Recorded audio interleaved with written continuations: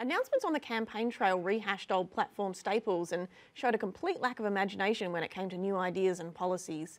However, one aspect of the most boring circus in town really stood out. I'm talking about the strangely transfixing slogans the Prime Minister repeated throughout the campaign.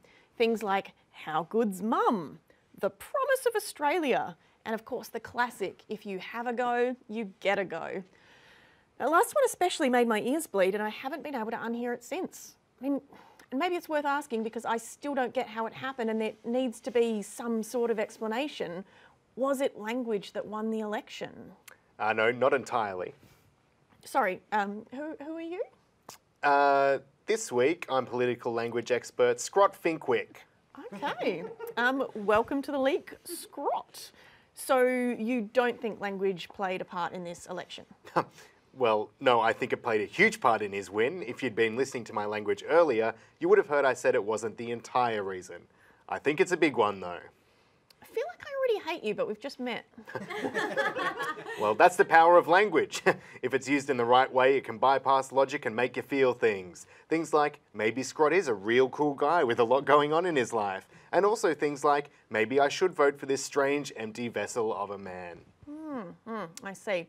So um, how exactly did the slogans work? Like, what about them led us to this place? Okay, well, let's focus on Morrison's classic line if you have a go, you get a go. To understand the Prime Minister's speechwriter's true genius, we really need to break this down into its constituent parts. All right then, Okay, let's ahead. begin with if. The phrase begins with a condition. If something happens, something else may or may not happen. A whiff of suspense draws us in, and then, quick on its heels, comes you. The listener now knows that they are an active participant in these proceedings. Very exciting. A man of the people, Morrison has drawn them in. The condition is now theirs.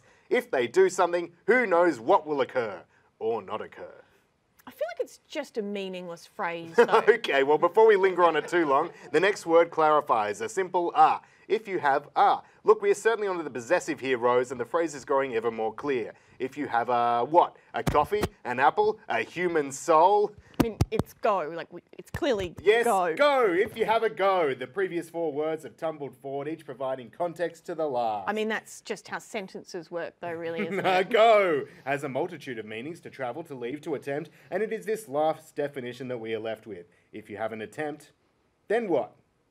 You, again, if you have an attempt, something may happen to, or for, or around you. Once more unto the common people. I'm on the edge of my seat, Prime Minister. I simply cannot contain myself. Then comes will. Will, a statement of certainty, of absolute truth. If this happens, this will happen. There is no question or hesitation. If you have a go, you will. Scott, did you ever actually study languages? Okay, well, language is for everyone, but especially for me. If you have a go, you will get. You will receive something, perhaps an award or a trophy of some kind. But no, it is something even better, for the end is here a go. You will receive a go, the thing you already had, and here is where it all comes together. I mean, this all means nothing, though. False, incorrect, absolute rubbish. This repetitious simplicity belies a devastating complexity. Is this new go at the end of the sentence the same go we had encountered moments earlier, or a new, shiny go? Because what of the go? Is there a cycle of goes where only those in possession of a go will continue to receive goes? Who had the go in the first place? Will some people crumble under the immense weight of the goes they are having and then in turn getting? Will their minds shatter? I think yes. Yeah, um, I'd say it's already happened to some of us. Well, the key here is the guarantee only runs one way. If you have a go, you will definitely get a go. If you do not have a go, well, there is no certainty that you will get a go. This isn't a logic puzzle, Rose. It's a grand statement of truth. Well, I mean, I thought what was just intended there was to make people feel like if they worked hard, they'd have an opportunity to get ahead in life. What?